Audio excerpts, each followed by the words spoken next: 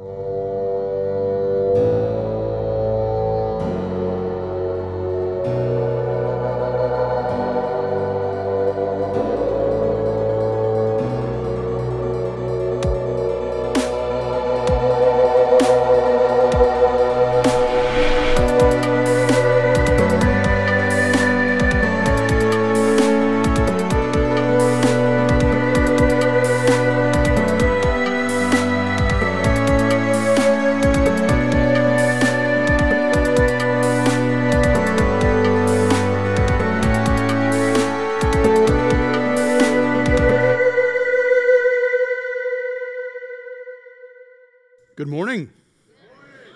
great to see everybody here. So uh, good to be with you this Sunday morning as we continue to lift the name of Jesus high.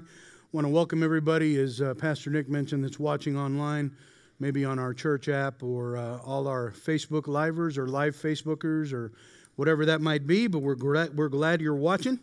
Welcome to those that are in overflow. I'm so grateful that you're here. We're going to continue our series through the book of Hebrews called Jesus is Better.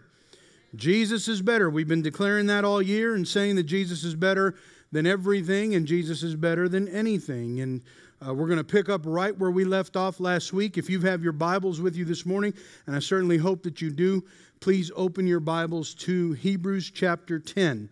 Open up the, uh, your hard copy of your Bible, open up your Bible app, uh, whatever it might be, but go to Hebrews 10 and meet me at verse 26. We're going to pick up, as I mentioned, where we left off last week in verse 26. And I'd like to uh, let you know before we dive into the passage for this morning, I want to give you a warning because the, the text that we're going to be in this morning is pretty intense. Um, the text that we're going to be in this morning is, is a hard text to, to read, to hear, uh, to preach, um, all of the above. Uh, you'll see once we get into it what I mean. And uh, I want you to know that just because it's a hard text, that doesn't mean that we would go around it. That doesn't mean that we would ever skip it. We are preaching verse by verse through the book of Hebrews this year, and uh, we are not going to skip any parts of the Bible. If you've been here at any uh, for any amount of time here at BT, you know you know we don't skip parts of the Bible at BT. We teach and we preach the whole counsel of God. And there's a real danger whenever you come to places in the Bible that you don't like, that you tend to skip over or gloss over or altogether ignore you're doing yourself a dis- disservice because the fact that this is a hard passage is actually a blessing to us.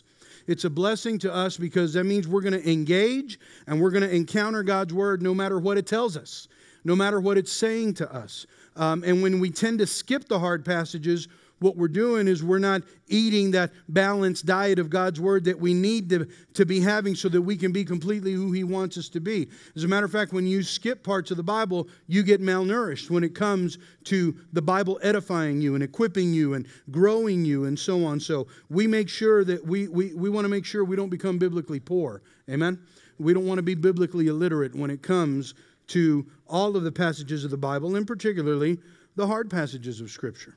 And we know that when passages in Scripture uh, are, are the harder passages, maybe to take in, to understand, that we always want to go to the rest of Scripture to help us understand what God is saying. Let, let me clue you in on something. I've said it before and I'll say it again if God allows me the opportunity. And that is whenever you are reading the Bible, whenever you are studying the Bible, whenever you're in a Bible study group, whenever you're in church in large group like this, when you engage the Bible and you read the Bible, one of the most dangerous questions you can ask is, What is the Bible saying to me? What is God saying to me? You never want to ask that question. That's a dangerous question. Instead, the question should be, What is the Bible saying? Or what is God saying in this passage? And then let me dig in, let me engage, let me investigate, and let me go to the rest of the Bible in the context of the Bible to see what he's saying in this passage. But whenever you add the to me at the end, what is God saying to me? What is the Bible saying to me? That's dangerous territory because you might be wrong in what God is saying. Amen? And that's why we want to have the correct interpretation and we want to engage all of Scripture to make sure that we truly understand what God is telling us. We want to let Scripture interpret Scripture. Amen?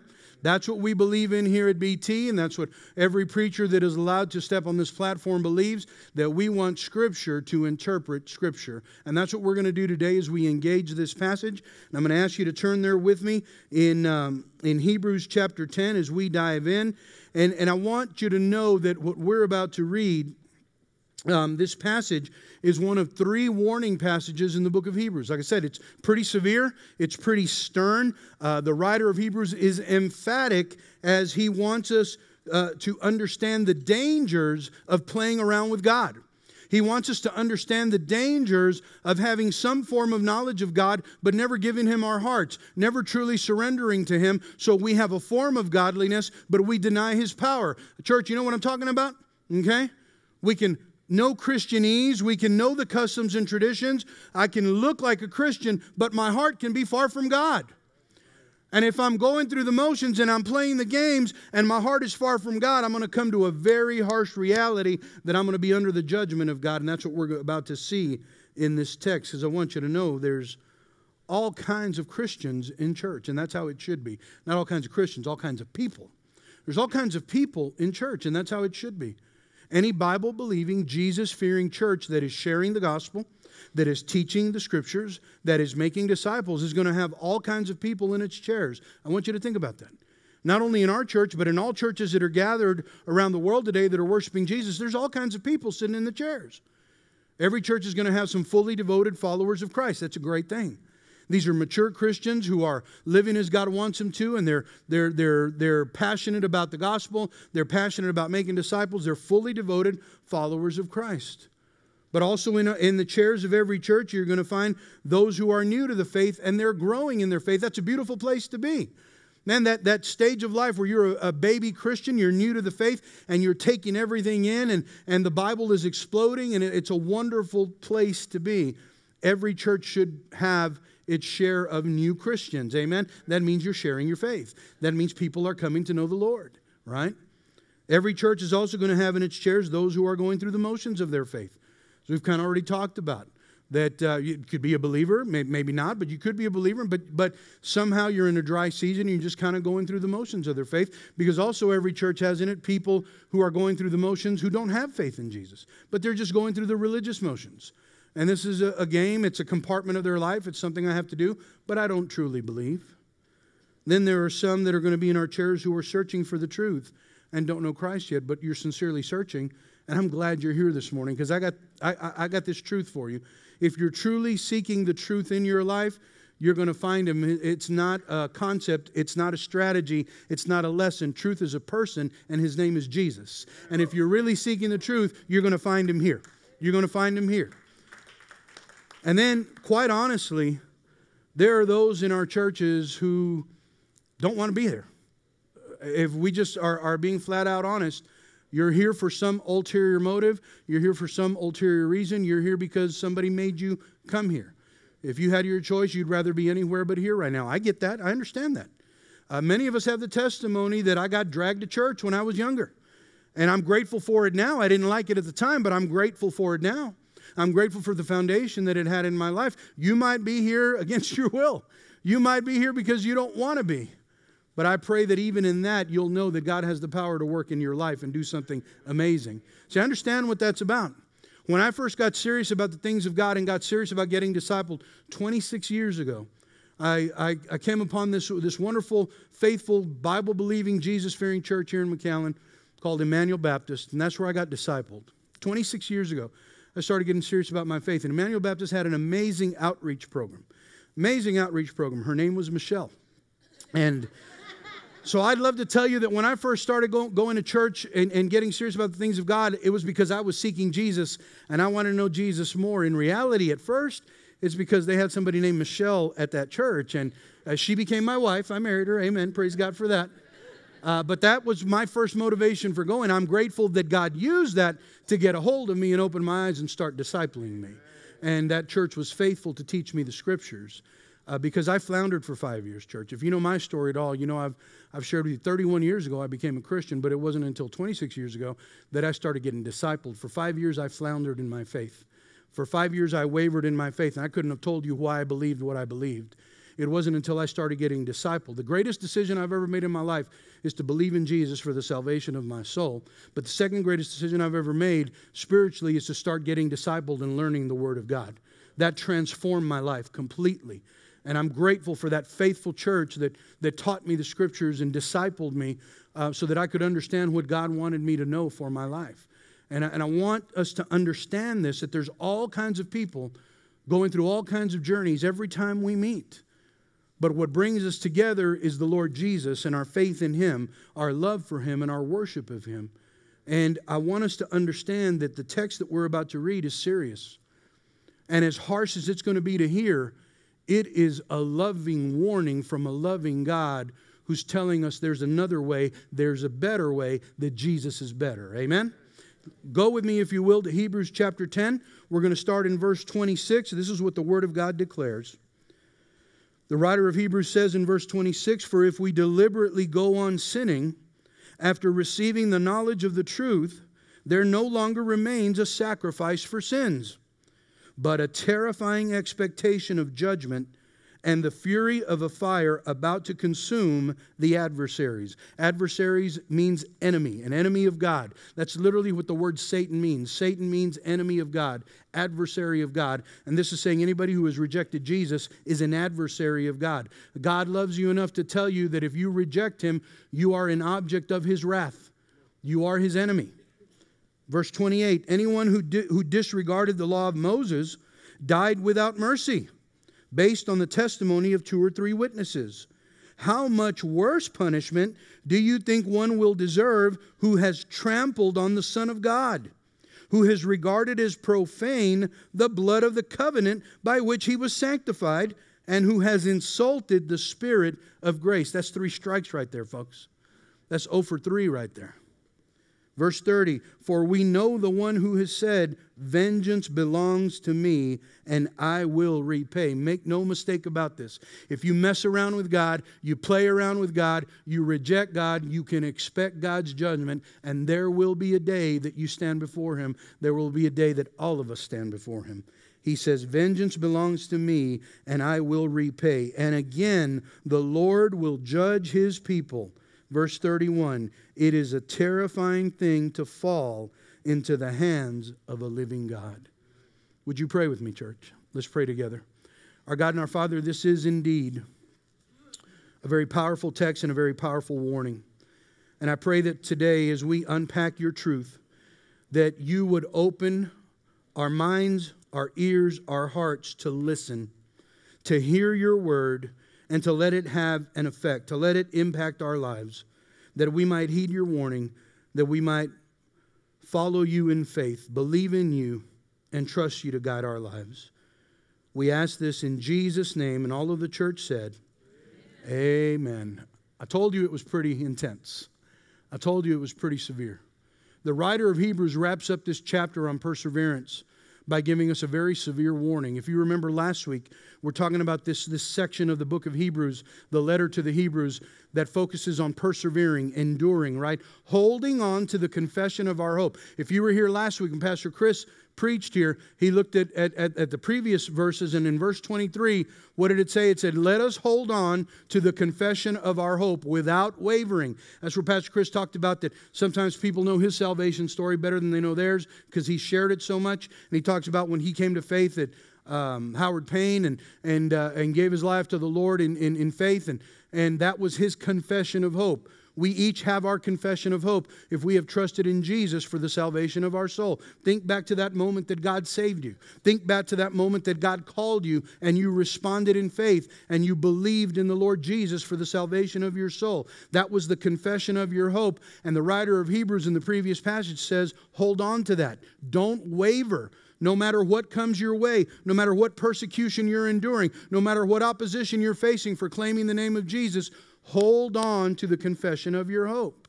So now the writer transitions and he gives us this warning, and he's wrapping up this section on persevering by giving us this serious warning. And the thing about this warning, please hear me as we read it, as you read along with me, as I read it out loud, this is not a hard warning to understand.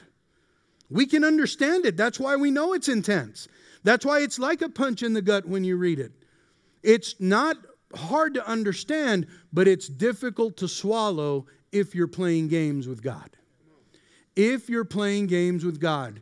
If faith is a joke to you, if faith is something that you compartmentalize and it's just a part of your life, something you, you wear on the outside so people you, will think somewhat good of you, but you have no interest in following Jesus and your life shows that you have no interest in following Jesus, this is exactly who the warning is for. You see, it's easy to read in verse 26 when the writer of Hebrews says, We, he uses the word we. Look at verse 26. What does he say? He says, For if we deliberately go on sinning, it's easy to read that and think he's speaking to believers. But he's not speaking to believers because look at the rest of the passage and what he describes that those people do. They trample on the Son of God. They, they, they ignore his blood and they reject the Spirit of grace. That's not what a believer would do. And just in case you're still not convinced, we're not going to go through it today, but later in the chapter in verse 39, the writer of Hebrews makes it clear. He's not speaking about himself, he's not speaking about believers, he's speaking about unbelievers who are pretending to be Christians. He's talking, not talking about atheists who have flat out rejected God. He's talking about people who might look like Christians on the outside, but their hearts have never belonged to Jesus. They're just playing a religious game. That's who he's speaking of, and that's who the warning is for. He's not speaking to believers today. You say, well, if he's not speaking to believers and he's speaking to unbelievers, he's speaking to basically uh, people we could call posers that are posing as Christians, but they're not really Christians, then really, why should I listen to you, Louis? Because even if a message in Scripture is directed to non believers, believers, we as believers can learn from it and we can get learn from that warning and it can motivate us to share the gospel. Amen. So God's word is always good for all of us no matter what, but make no mistake in this passage, the writer of Hebrews is writing to those who are posing as Christians but really aren't Christians. You see, an authentic Christian is not perfect, but strives to live a life of obedience to God. Not to get salvation because you already have it so now you want to honor God through your obedience. And an authentic Christian is going to persevere, is going to endure with faithfulness in the face of persecution and opposition. One of the themes that we've been looking at through the book of Hebrews is that this first century church was under severe oppression. They were under opposition. They had obstacles they had to overcome. And in that culture, it was basically very similar to many cultures around the world. Pastor Nick prayed and gave God thanks that our nation celebrated another birthday this past week. And we truly have a lot to be grateful for because when we think of persecution as American Christians, we think about persecution differently than Christians around the world from us because a lot of Christians around the world, when they put their faith in Christ, they have basically taken on a death sentence in the country that they live in and, and, and their lives it could, it could cost them their life to make that declaration. Now, let me be clear on what I mean by that. All Christians, when we come to Jesus, it's a death sentence because we have died to ourselves and we find life in Christ. Amen?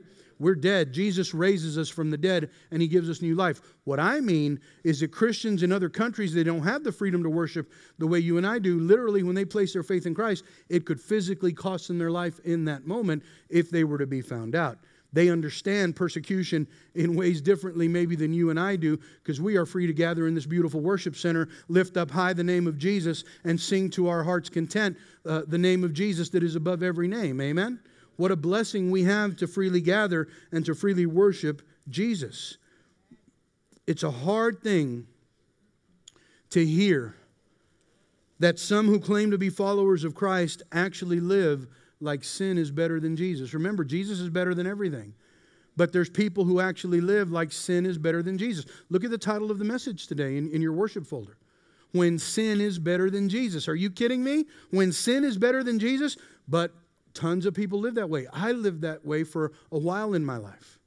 I was more in love with this world than, than with the kingdom of, of my king.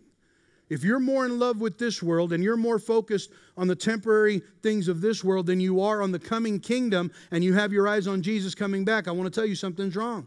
Because the Bible says that if we truly belong to Jesus, we will long for his appearing. We will long to want to be with him. As good as this world is, this world holds nothing on the kingdom of God and what is coming. But how would you know that unless you're in the scriptures? And you're studying the scriptures and reading the scriptures and letting them penetrate your heart. When the temporary pleasures of this world are greater than the eternal promises of God, I'm living as if sin is better than Jesus. And that is dangerous territory to be in. That's exactly who the Bible is speaking to. It's saying you have fooled yourself.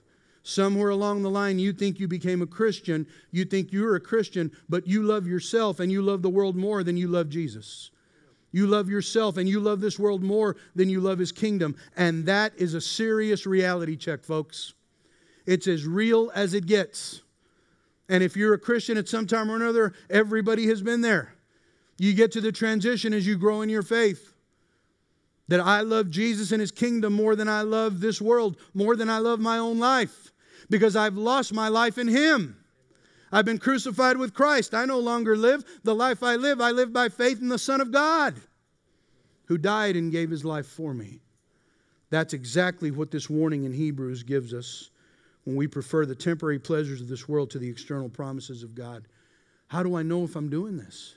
Pastor Louis, you got me kind of freaked out. How do I know if I'm, I'm one of these people that, that the writer of Hebrews is talking about who have total disregard for Jesus?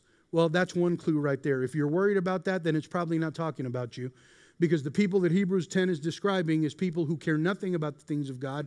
They have no fear about the judgment of God. They just want what the name of God can bring them in this world. They, they wouldn't give it two, two seconds of thought. So if you're worried about that and think about it, that's a pretty good indication already that that's not you because you're thinking about it and you're worried about it and you want to make sure jesus I, I, want to be right with you i don't want to offend you so how what clues, what indicators do we have of people who live like this? Well, the, we see the first one in verse 26 through verse 28, and it's this it's continual sin. Make sure you get this down. It's continual sin. It's somebody who has no problem continuing to sin. They don't think twice about it. They don't care about repenting. They don't care about offending God. They're going to live however they want. Church, are you hearing me? Look at what verse 26 says. For if we deliberately go on sinning after receiving the knowledge of the truth, there no longer remains a sacrifice for sins. If I continue to sin, if I do not heed God, if I do not heed His word, there is no sacrifice that covers my sins. I have rejected it because I continually want to live my way and not His way. I want to be king. I don't want to surrender to that king. That's exactly what verse 26 is saying here. We live in continual sin. Now, again, to deliberately go on sinning is, is not to sin just every once in a while, because we're all going to do that. Amen? How many of you, since you've come to know Jesus Christ, have stopped sinning altogether? Anybody? Huh? If you raise your hand, you just sinned, okay? Because we're, we're going to sin, but the difference is because of Jesus and the, his blood that he shed on the cross, our sins are covered, our sins are removed from us, our sins are forgiven. We're forgiven from the penalty of sin, but we're not removed from the presence of sin yet. And so there's times that we sin, but hopefully, as you're walking with Jesus, those times are occasionally, they're not premeditated. You haven't thought about it. It's just the fact that because we have a sinful nature, our nature is forgiven, but we still have it uh, uh, it, it, it, that we're going to sin from time to time. That's not what Hebrews 10 is referring to. That's not the type of sin that Hebrews is referring to. Notice what it says here. Look at the two different ways it describes the sinning. If we deliberately, deliberate, and go on sinning, continual. So this is deliberate sin and it's continual sin. You're doing it on purpose. That means it's premeditated. You've thought about it and you've compared what God says to what you want, and your way wins out all the time. And I don't care if I'm offending a holy God, I'm going to continue to do whatever the heck I want to do. That's what it's saying here. And so we understand that to deliber- deliberately go on sinning is to sin willfully. We sin knowing what God says and we choose to go against it. It's not an isolated incident, it's not once in a while, and it's not without thought, but it is continual. It's premeditated, it's deliberate, it's almost as if there's a joy in sinning against God. Have you ever seen this before? Ever seen people who claim to know Jesus, claim to walk with Jesus, but they seem to delight in sinning against God? I, not only have I seen it in others, I've seen it in myself. I was there for a while where I, I, I, I said I claimed to know Jesus, but I really didn't give two thoughts about what he wanted for my life. I wanted to do what I wanted to do. And that's a huge difference right there because I can cloak myself under the name of Jesus. I can go through the motions. I can speak Christianese and I can learn the language. I can know the customs and I can know the traditions, and all that doesn't mean a thing if my heart doesn't belong to Jesus. See, it's possible to be in a culture of Christianity. It's possible to know the traditions and the rituals and know when worship is. And it's possible to speak Christianese, sing the name of Jesus, and your heart to be far from Him. This is what Jesus meant when He said of the Pharisees, These people honor me with their lips, but their hearts are far from me. They honor me with their lips, but their hearts are far from me.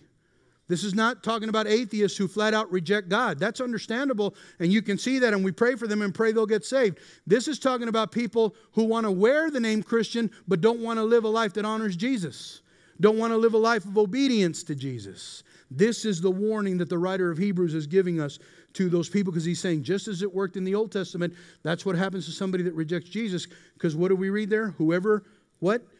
It says, Anyone who disregarded the law of Moses died without mercy. Who disregarded it, didn't give a second thought to it. As a matter of fact, in Numbers 15, verses 30 and 31, this is what the Bible says about that time.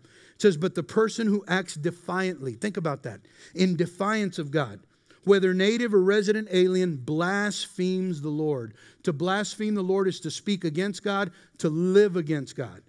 That person is to be cut off from his people he will certainly be cut off because he has despised the Lord's word and broken his command. His guilt remains on him. If you have despised the Lord's word, if you care nothing about following God, even though you've been in church every Sunday, even though you can go through the motions of it, why would you ever expect to hear anything from God except, Depart from me, I never knew you? Depart from me. I never knew you. But didn't we prophesy in your name? Depart from me. I never knew you. But didn't we go and, and, and share the gospel with people? Depart from me. I never knew you. But didn't we go and, and render aid to folks and, and do things in your name? Depart from me. I never knew you. You can do all those things and still not know Jesus with your heart. And while all those things are great, none of those things will get you to heaven. The only thing that gets us to heaven is Jesus. Did you notice what it says in verse 26? It says that these people who deliberately go on sinning have a knowledge of the truth. Did you get that? They have a knowledge of the truth, which means they don't have the truth, they just have knowledge of it. They've heard about it, they can tell you about it, but it's not real in their life. They have a knowledge of the truth, but like I said before, truth is not a concept, truth is not a strategy, truth is a person. They have knowledge of Jesus, but they don't know Jesus. So they can tell you the stats, they can regurgitate information. They can go through the motions and look like Christians. It doesn't mean that they are. A lot of people, I've said this before, a lot of people treat the Bible like they do a baseball card or a football card because they'll read the stats about Jesus and they can quote you the stats.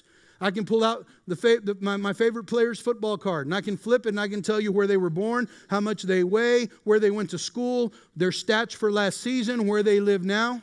I can tell you everything about them. It doesn't mean that I know them. I know about them, but I don't know them because if I showed up at their house, knocked on the door, and I said, "Hey, JJ, let's get together, open up the, uh, turn on the barbecue." I'm talking about JJ Watt. Come on now, all right? They said, "You know, JJ, uh, man, light up the pit." JJ would call the cops. He'd say, "There's some freak at my door." I don't know this guy, but I know him.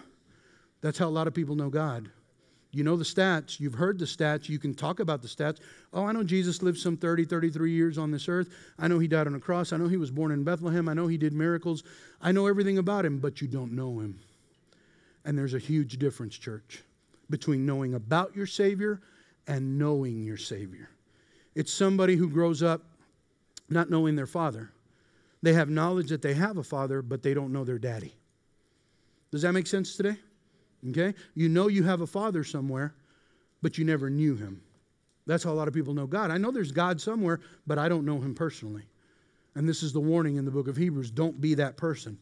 Don't be the person who's just going through the motions because the Bible has a word for this type of person, this type of action. It's called apostasy. And this is an apostate that Hebrews 10 is talking about. An apostate is someone who lives in rejection of Christianity but has knowledge of it. And they claim it but it was never real. It was never really something that took hold of them. It's, some, it's having that head knowledge of Jesus and, and his gospel, but not knowing him in your heart. You know, it's been often said by many preachers, many, many famous preachers. Billy Graham said it. Uh, many other preachers have said it that the difference between heaven and hell is 18 inches. So, what, what do you mean the difference between heaven and hell is 18 inches? Heaven is a real place, hell is a real place. You need to know this. Jesus taught about both. The Bible speaks of both. They're both very real places. If you know Jesus, you know you spend eternity in heaven. If you don't know Jesus, the Bible says you'll spend eternity in hell. So, how can the difference between heaven and hell be 18 inches? Because that's the difference from your head to your heart. See, I can have head knowledge of Jesus, but it doesn't mean a thing. It's not until I know Jesus with my heart that I become His, and that I'm saved, and that I'm part of His family, and that I'm part of His kingdom. And it's an amazing thing uh, that, that as, as, we understand this, having head knowledge and heart knowledge. You know who's the perfect example of this? And Pastor Nick referred to him Judas who was uh, one of Jesus' disciples, walked with Jesus for three years, sat under his authority for three years, saw the miracles for three years, and in the end decided, no, I'm king. I want my way. I want some silver. I'm going to do what I want. I don't care about following him. But he was called a disciple of God. He was around Jesus for three years. You want to talk about that? He had the best pastor ever, heard the best preacher ever, had the, heard the best teacher ever, and his heart never belonged to Jesus. You can have all kinds of head knowledge, folks. It doesn't mean a thing if your heart doesn't know Him. Your heart needs to belong to Christ. I love how Jesus put this in Matthew 13. In Matthew 13, Jesus teaches one of the most powerful stories, parables of the kingdom. When Jesus taught us things about his kingdom, he would teach in stories. He called them parables. The Bible calls them parables. And he taught in stories so that you and I could grasp concepts of his kingdom. Because if, if he didn't teach in stories, you and I, the, the knowledge of his kingdom would be woo, way over our heads. So he taught in stories to help us understand lessons about how his kingdom works. And so in Matthew 13, he teaches us the parable of the sower. You say, I really don't understand what that means. Yeah, I, I didn't at first either. But in the first century, primarily his audiences were agrarian. What does that mean? They, they understood agriculture. They were farmers. They understood what it meant to work the ground and get something from the ground. And so Jesus uses this analogy of a farmer, the sower, sowing seed. And so he said there was a sower sowing seed, and, and they would carry uh, seed in their, uh, around their waist in a, little, in a little pocket thing, and they'd take out seed and they'd scatter it on the ground. And the seed represents the gospel of the Lord. And so we are to be sowers of the gospel, and we're to spread the seed of the gospel.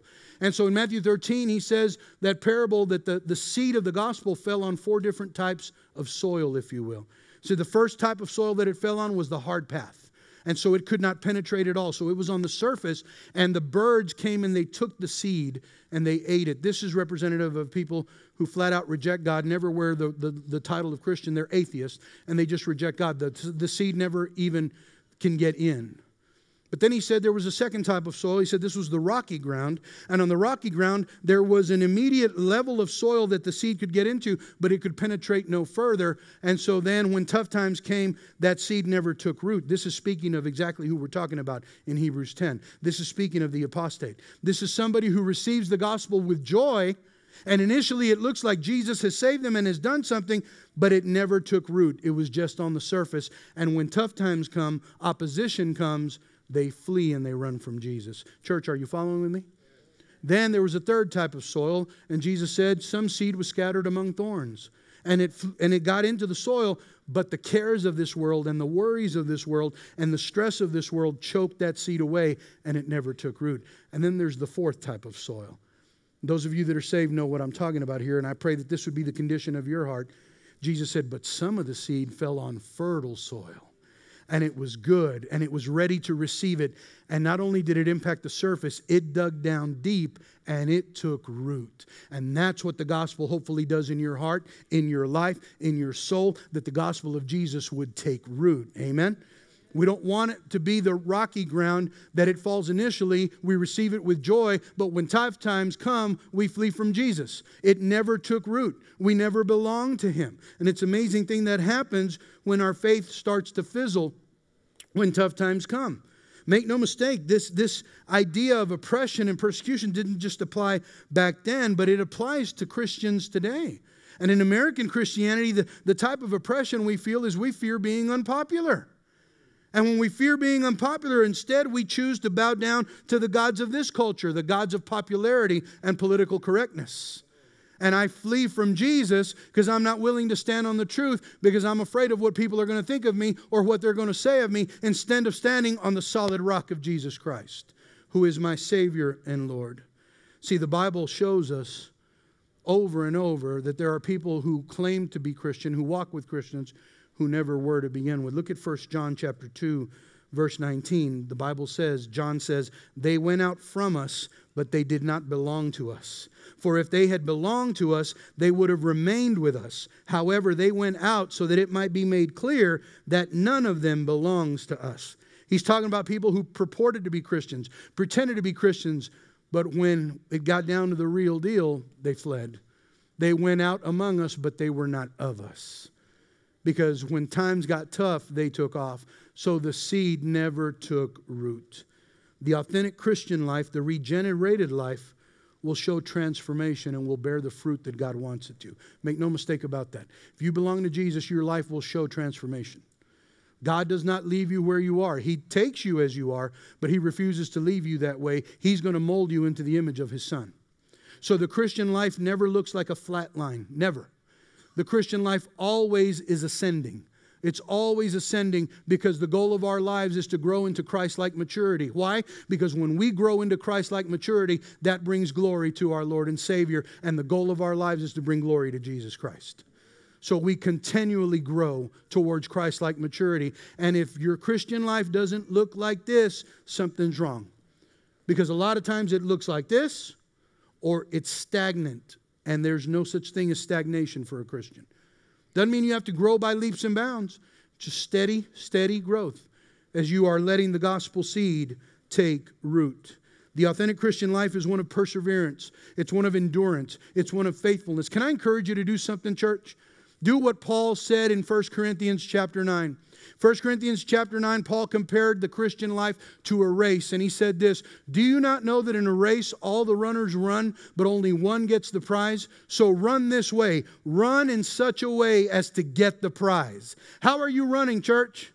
How are you living your life for Jesus? Are you just happy to be in the race, or do you have purpose to your race? Do you have intention to your race, and do you have your eyes on the prize? Because for the Christian, the prize is not the ribbon at the end of the at the race. For the Christians, the prize is Jesus. And we keep our eyes on Jesus as we're running, and we keep our eyes on Jesus as we're living, because we keep our eyes on Jesus, the author and perfecter of our faith. And as long as we have our eyes on Christ and we abide in Christ and we keep running, we're going to run the race to win. We're going to endure. We're going to persevere when the race gets tough. And what gives you the ability to endure? What gives you the ability to persevere? You have your eyes on Jesus.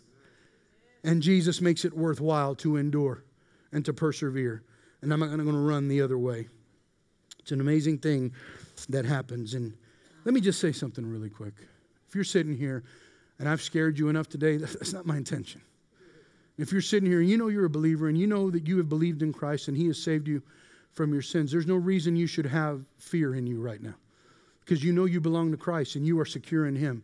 Can I remind you that if you're a believer, He has not given you a spirit of fear? Can I remind you of what 2 Timothy 1 7 says? 2 Timothy 1 7 says, For God has not given us a spirit of fear, but one of power, love, and sound mind, sound judgment. So if you're sitting here kind of shaking, saying, Is Pastor Louis talking about me? Again, if you belong to Jesus, it doesn't mean you're going to have doubts from time to time.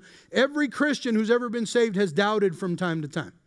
Every Christian who's ever been saved has had days where you don't feel saved. Can I get an amen, church? You have days you don't feel saved, but thank God we are not guided by our feelings.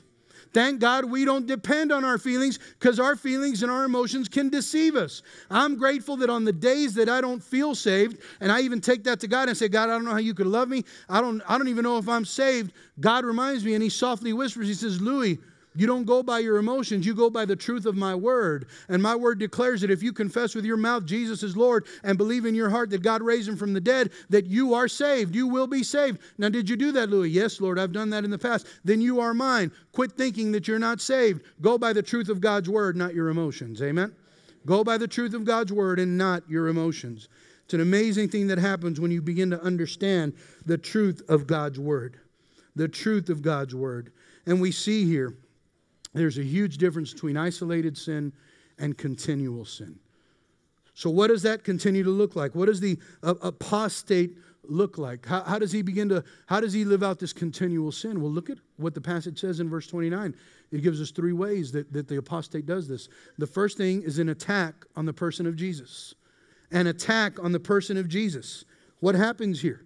There's an attack on the person of Jesus. Look what it says in verse 29. What do apostates do? They claim to know Jesus, but this is what they really do. How much worse punishment do you think one will deserve who has trampled on the Son of God? You trample on the Son of God. Well, well, how do you do that? Do you understand there's a specific reason the writer of Hebrews chose this language? Because to trample on something, to lift your foot against something, was the ultimate sign of scorn and contempt and disrespect. And that's what an apostate does. They claim Jesus, but they disrespect him all the time. They disrespect him. They don't surrender to him. They want to do their own thing, as I've already said.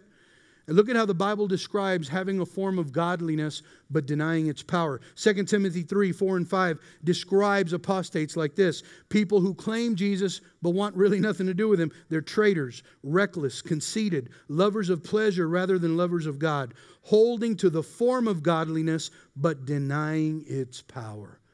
You know, the Bible even goes on to say, avoid these people. And what it means by that is avoid their influence in your life avoid hanging out with them, but you don't avoid sharing the gospel with them. Because I got news for you. If you're sitting here and you're saying, Pastor Louis, I know you've assured us that if we belong to Jesus, we have nothing to worry about, but I know that I don't belong to Jesus.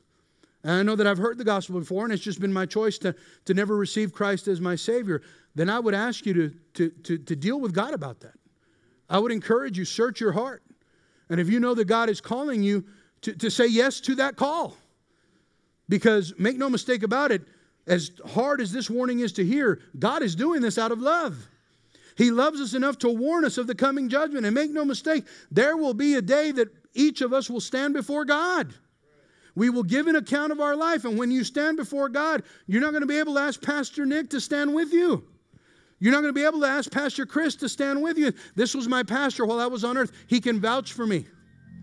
He can vouch for me that I was a good member of BT when you stand before God, it's just going to be you and the one who the Bible says his eyes are like fire. Just the two of you. And no excuse is going to matter. And God loves you enough to warn you. He says here they trample on the Son of God. How? How do they trample on the Son of God? They manipulate His Word. Watch out for people who manipulate the Word of God. How do they do it? First of all, they live in outright rebellion of it. I know what the Bible says, but I'm an exception. I can do what I want. Be careful because they'll twist God's word. That's what the enemy specializes in. And you'll twist God's word to make it say whatever you want for your convenience. You know that any of us can take a, a, a, a scripture and we can twist it to mean whatever we want it to mean. That's why you have to study it in the whole context of the Bible because our itching ears will start making God's word say what we want it to say, and we'll start trying to make God's word bend to us instead of us coming under the will of God's word. Think about that. You know how we do that? The number one way we do that is we question God's word. That's Satan's number one strategy to get you to fall. He gets you to start questioning God's word. Did God really say? Did God really say? Did God really say that lifestyle is wrong? No, he just doesn't want you to have fun. He doesn't want you to be who you are. He doesn't want you to enjoy yourself. Did God really say, Eve, that you shouldn't eat from that tree? Well, he doesn't want you to eat from that tree because he knows that when you eat from that tree, you're going to be just like him. And he gets us to question God's word. Every time apostates manipulate the word of God, but not only do they do that, they mischaracterize his church. They don't give honor and respect to the bride of Christ. We, the church, the blood bought believers, we're the bride of Christ. And apostates mischaracterize his church. They don't honor his church as his bride. They look to separate his church, not unify it. Jesus prayed that we would be one. Apostates always seem to want to bring division in the church because they don't believe. They want to get others to fall with them. They don't give his church the priority that she deserves. What do we mean by that? Ah, church is fine if it's, you know, within reason. Yeah, we get to church when we can. Yeah, you know, it's okay. But I don't need church to worship God. Pastor Chris talked about this a couple weeks ago. Hebrews says, Do not forsake the gathering together of the saints. We are called to honor his bride, we are called to be a part of his bride. Apostates treat Jesus' bride almost as if somebody, man, somebody were to come up to you and say, Man, I, I really like you. You're a pretty swell guy. You're pretty cool. I'd like to get to know you better. I just really can't stand your wife. What? I mean, guys, how would you react? What would you do? That's how we treat Jesus. I want Jesus, but I don't want his church. Give me all of Jesus, but I don't need organized religion. Give me all of Jesus, but I ah, this church, I can do away with that. Are you kidding me? They're they're together. The church is the bride of Christ. But not only do we attack the person of Jesus, look at what verse 29 also says, we attack the work of Jesus. The work of Jesus? What do you mean? Where did Jesus do his greatest work? It's right behind me in case you need a clue. Jesus did his greatest work on the cross. Why? He shed his perfect blood on the cross for the forgiveness of our sins. Notice what verse 29 says how an apostate treats the blood and the work of Jesus. They, disreg- they have regarded as profane the blood of the covenant. What? What does that mean? It means because they don't think Jesus is God. I don't think he's worthy of my worship. I don't think he's worthy of my surrender. I don't think he's worthy of my obedience. I am telling the world I think his blood is ordinary. And there's nothing ordinary about the blood of Christ. It's the most powerful thing you'll ever encounter. That's why Nick said that the Lord's Supper is the most expensive meal you and I will ever eat. Because it's the blood of Jesus, the body of Jesus, that was given for us on the cross. But the apostate says, I don't think that's worth anything. I think it's pretty ordinary. When you say that Jesus is ordinary, you're saying that he was a sinner.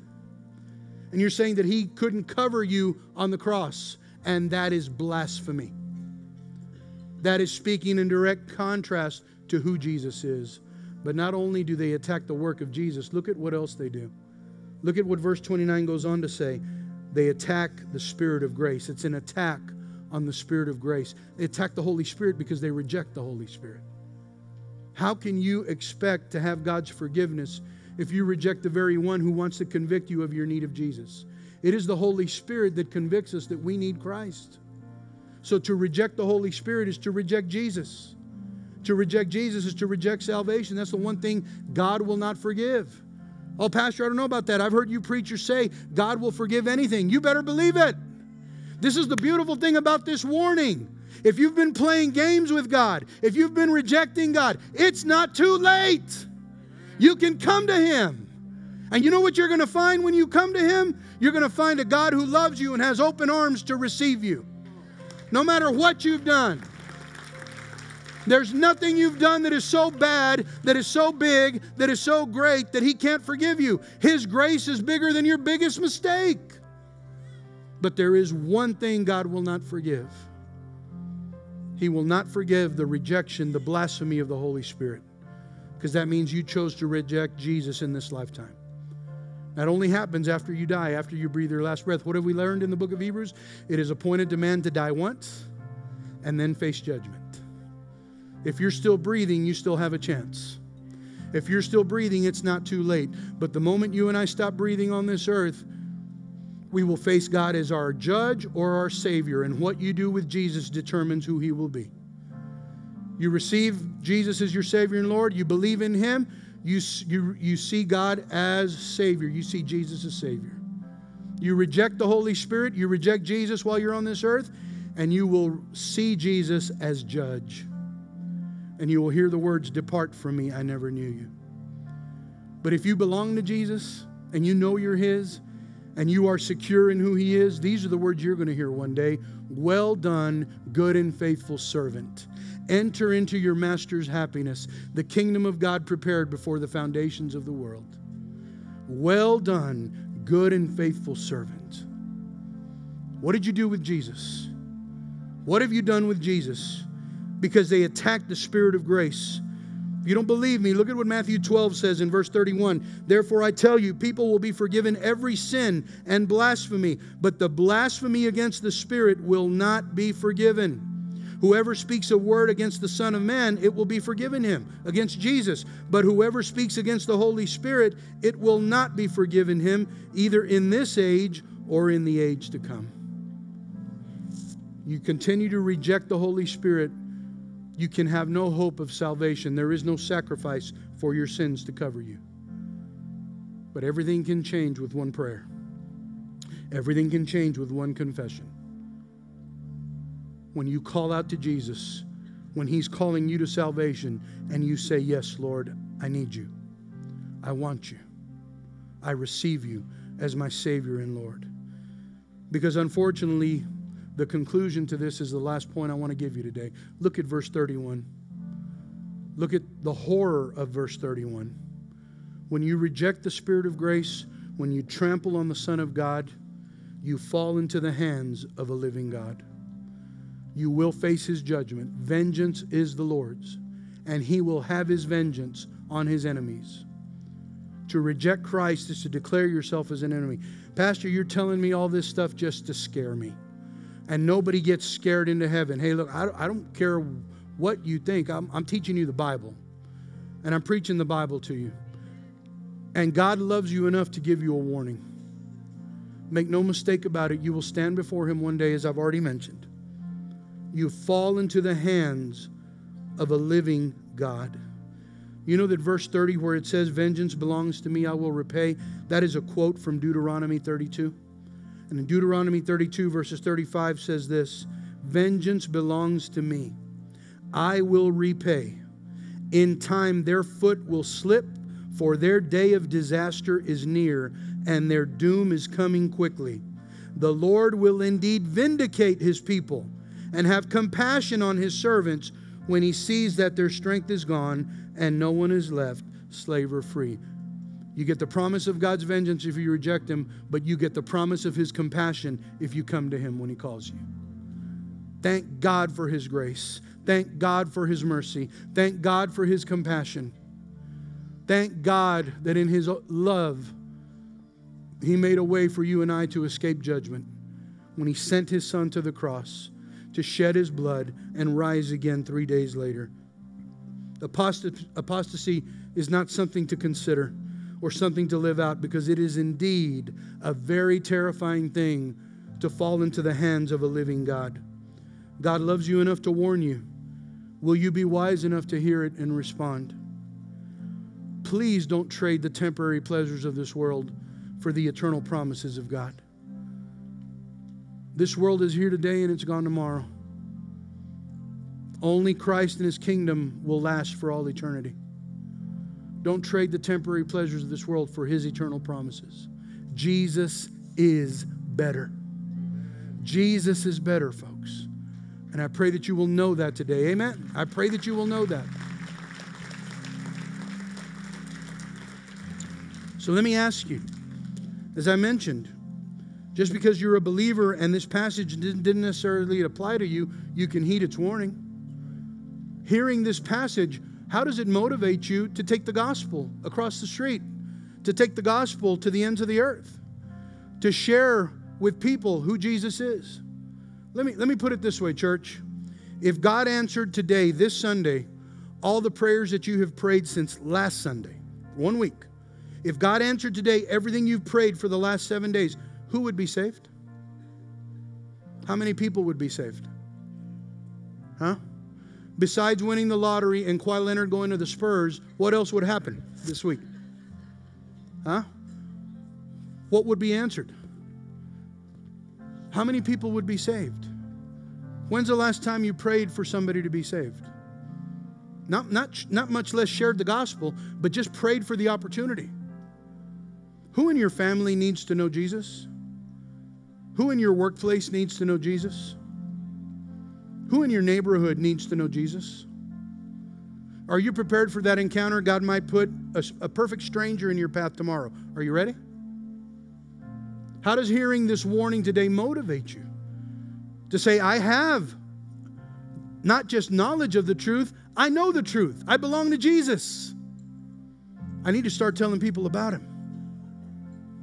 What about you sitting in that chair right now? As a matter of fact, as you're sitting, I'm going to ask you to stand. Would you stand with me? I'm going to ask our prayer uh, warriors to come forward, our altar ministers. And as they come forward, I want to ask you if you've been sitting there today and you say, Pastor Louis, I know as you've been preaching, God has been doing some business with me. And, and I don't know if it's that I've been playing games. I don't know if it's just that I've been consumed with other things in this life. But I definitely know I have not followed Jesus as I'm called to. I, I have not honored Jesus with my life as I'm called to. I maybe go to a church, I maybe wear the name Christian, but I've realized today my heart is not His. Pastor Louis, what would you tell me? It's very simple. The only thing I can tell you is this come to Jesus. Come to Jesus. Come to Jesus. He's calling you. Whether you want to call it conviction, whether you want to call it conscience, whether you want to call it that feeling in the pit of your stomach, God is calling you to be His. Answer the call. Come forward. Come to Jesus. Don't let anything stop you. These precious people want to help you know how you can know Jesus as your Savior and Lord. If you've got something this week you're just thanking God for, you're just blown away at God's goodness and His blessing in your life, come and share it with one of our altar ministers. They want to thank God with you. If you have a weight that you've been carrying, a burden that you can't carry anymore, and it's just weighing you down, and you have a situation in your life or a circumstance in your life, there's no reason for you to keep carrying it when Jesus said He would carry it for you.